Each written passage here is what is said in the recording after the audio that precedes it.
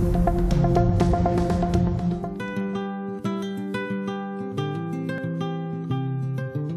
a wonderful initiative by IIT and iSafe. Road travel has become an important part of us that cannot be avoided in our daily life.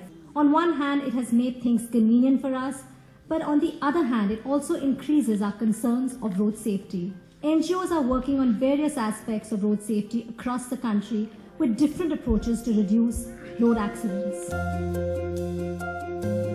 As part of the Diageo NDTV Road to Safety campaign, we went to the Indian Road Safety Conclave organized by IIT Delhi and iSafe.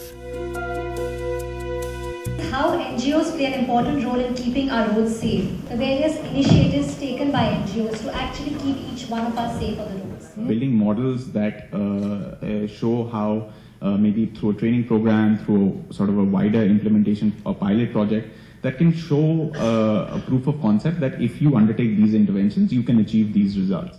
Our politicians, number one, who are the policy makers also.